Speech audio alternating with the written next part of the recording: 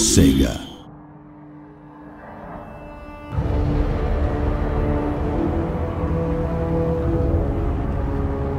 Hello, good evening, and welcome to the latest Total War Warhammer campaign walkthrough video. Today we're going to take a snapshot of a campaign we've been playing as the Empire, and the usual caveats apply. We're still a good two and a half months from launch, and well into balancing and polishing.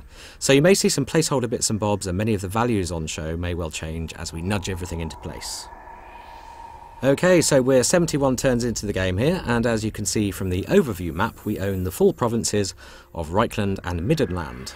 We started by conquering Reikland, and we've recently taken the three regions of Middenland from the faction of Hochland, who just weren't playing ball diplomatically, which frankly is their loss. In terms of our immediate neighbours, we can see that Bretonnia has been rather badly ganged up on and pretty much taken out of the picture. The vampire faction of Mousillon has emerged the strongest here, while Bordeleaux is very much in the game still, as are our dwarfen chums of Karak Norn. Wissenland rules to the east, and beyond them the vampire factions who are breaking out of the Sylvanian provinces towards us. Looking at the diplomatic status overlay, we're feeling relatively secure at the moment. All factions marked blue are our allies, testament to some good treaty making on our part early on. Just north you can see the Skulltakers, a roving tribe of savage orcs who tore into our territory some turns earlier, but we managed to send them packing. So with friends around us, but vampire enemies in the mix too, there's all to play for. Guarding our northernmost point of expansion and providing much needed public order to the newly conquered and therefore unstable province of Midland is Emperor Karl Franz himself. He's got a fairly well balanced low to mid tier army with him composed of great swords, swordsmen, crossbowmen, Reiksguard, and mounted pistoliers. Karl himself is currently equipped with the Sword of Swift Slaying, a charmed shield, and an obsidian lodestone, which offers him some magic resistance on the battlefield. Skills wise, we've been focusing largely on improving his combat abilities, making him an all round better warrior, and we've unlocked his early mounts. So let's upgrade his Pegasus for a tasty buff to its charge bonus. Otherwise, the only other skill we've given him is in his campaign tree, which helps his army to march further on the campaign map each turn. We've yet to tackle his quest chains and earn his epic gear, but we'll definitely be making time for those soon, as the buffs on them, as you can see, are pretty major. Now, each race has its own set of campaign mechanics, and something that's unique to the Empire is its offices, which we can see here on the offices panel.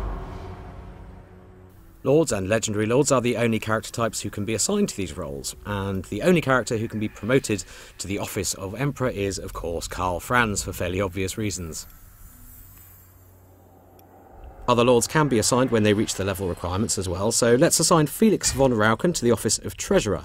Now this is going to boost trade income faction wide for us, and any infrastructure income in any friendly region he's inhabiting.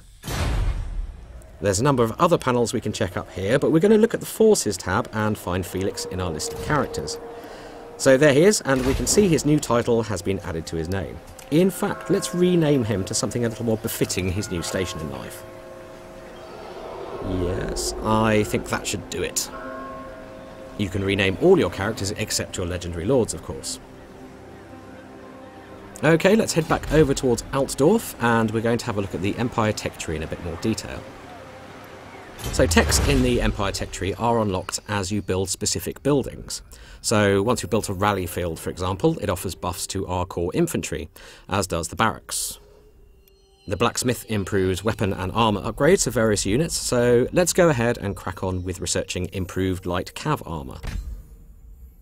Now, Altdorf is your starting city as the Empire and the provincial capital, but it's the only city that you do start with. And to be honest, your first turns are probably going to be spent building up your forces and looking to expand and capture the entirety of Reikland. I think we had all these settlements under control by around turn 20, and much of our focus since then has been on improving our infrastructure to unlock better units and boost our income. Here in the building browser for Altdorf you can see what we've built and of course what we're driving towards in terms of recruitment. Income is derived from our capital city, various cash generating buildings in outer settlements, plus any exploitable resources in the region. We've got some clay pits in Altdorf here, for example, so that's contributing towards our trade tariffs. And if we examine Grunburg here, we can see that certain chains are limited by the maximum size of the settlement.